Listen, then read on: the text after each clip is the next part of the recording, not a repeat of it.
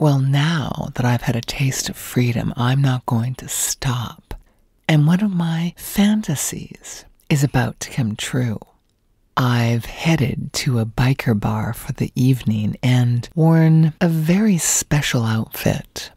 You see, this biker bar is known for their patrons dressing very much like strippers. It's the female patrons, that is. So I've decided to slip on my favorite and frankly only pair of black thigh high boots, a beautiful gauzy blouse, and a purple thong. Over top of that thong, I've wrapped a gauzy piece of fabric that's acting like a mini skirt. Barely.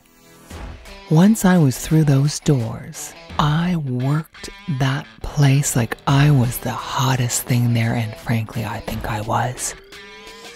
My ass is larger than the average woman's, very round and very firm. I've made sure of that over the years.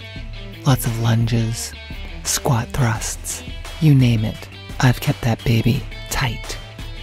I've said all my affirmations today and done a little meditation on finding a young lover who loves MILFs with big, firm, juicy asses.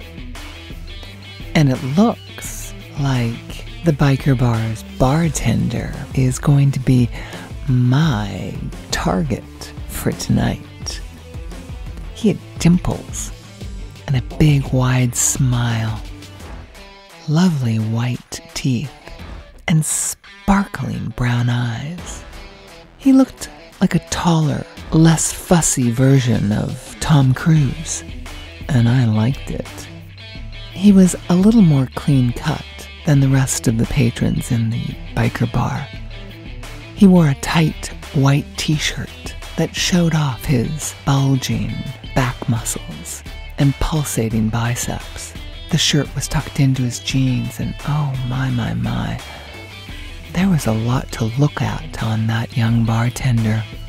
So I did everything I could to let him look at everything I had as well. Hmm.